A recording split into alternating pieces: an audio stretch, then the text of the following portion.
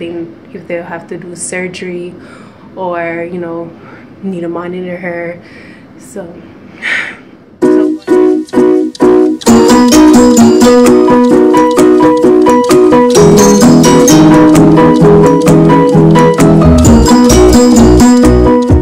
Ginelle Deandra.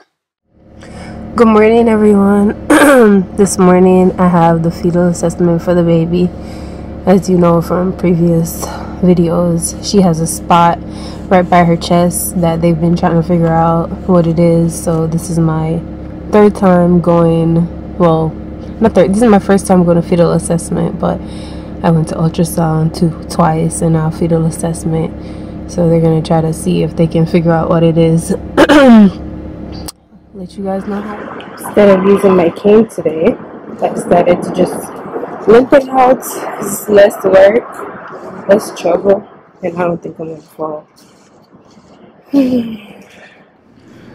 I just saw the nurse and she did like a assessment. She did a family history of my history and my husband's history. And I'm pretty sure I got a lot of those questions wrong. a lot of them were just estimating, but I think the main reason is just to see if anybody in the family have any birth defects or had any disease before the age of I think 30 or 40 she said. And I mean it seemed like the family's pretty healthy.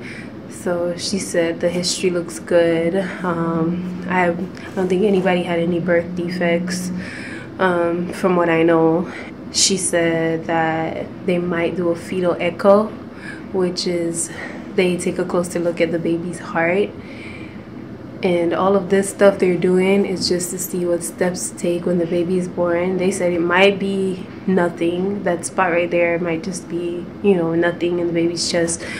But they just they just have to make sure. And then if they find out something then they'll know what steps to take once the baby is born. If they if they'll have to do surgery or you know need to monitor her. So so far the history looks good. I'm waiting on dr now he's gonna come do the ultrasound another ultrasound and see i guess take a close look head to toe and what what he can see. But he's a specialist so he should know more than the other doctors.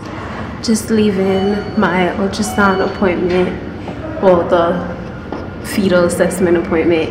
The doctor he did the ultrasound himself and looked at everything and he didn't see anything. He said this baby looked perfectly healthy, perfectly fine. He's not sure what they saw in the previous ultrasounds, but this baby looks perfect. Her heart, lungs, everything is just perfect. So glad. Thank God.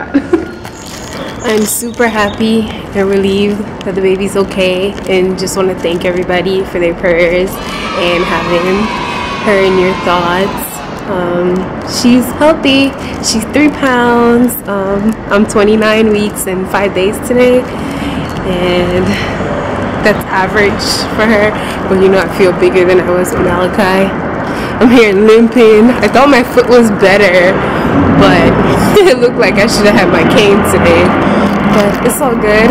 She's healthy. She's happy. I'm happy.